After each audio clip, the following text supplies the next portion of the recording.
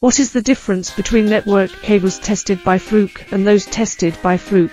Fluke testing is an international standard for network cable testing. Network cables that can pass Fluke testing are not only produced with better raw materials, but also have different production equipment and processes. They also have high requirements for factory production experience and parameter details. The same production machine, the same process. Inexperienced cable manufacturers still cannot produce cables that can pass Fluke testing.